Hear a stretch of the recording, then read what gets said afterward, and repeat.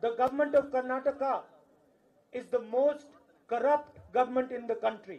They take 40% commission on every single transaction. The BJP MLAs themselves are saying this is the most corrupt government. 13,000 private schools have given 40% commission. Don't take my word for it. The BJP MLAs themselves are saying this is the most corrupt government.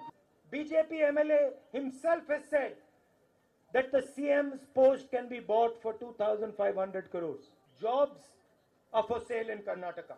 Police sub-inspector's post was sold for 80 lakh rupees. Assistant professor's posts are sold. Engineering posts are sold. So everything that these people can possibly sell, they sell.